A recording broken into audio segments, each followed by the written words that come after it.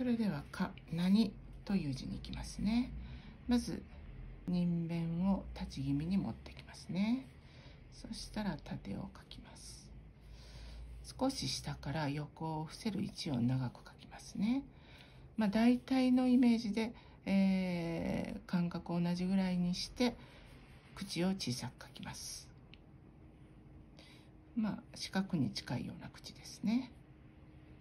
そしたら縦を左よりも辺よりも長くしてまっすぐに持ってきて抜いていきます。